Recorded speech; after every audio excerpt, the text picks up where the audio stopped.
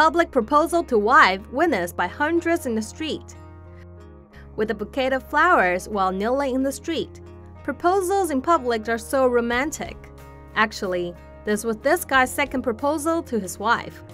40 year old Lin, who is a registered nurse in New Taipei City, has been married to his wife for five years, and the two already have three children. But sadly, there hasn't been any passion in their lives for a long time. So, Lin decided to do something special.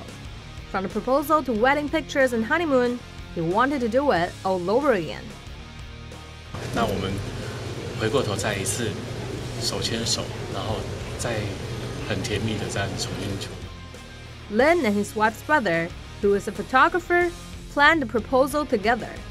They decided Taipei Bridge was the best place for it to happen, as its long slope would let many people witness the event. The wait time for traffic lights to change at the intersection under Taipei Bridge is also a whooping 100 seconds long. A large number of cars and motorists were there, but they still managed to carry out their plan in a relatively short amount of time.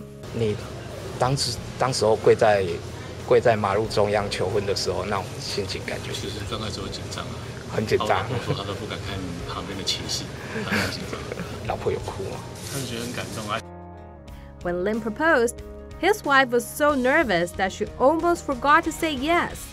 The video was uploaded to Lin's Facebook page and went viral.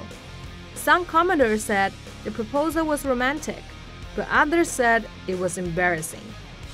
在停红灯的时候向你求婚，啊，你会是什么样的感觉？就很感动啊，就会答应他。那你当场会不会流下眼泪来？应该会吧。 会喜极而泣吧。哦，虽然很丢脸，可是也还蛮向往这种感觉。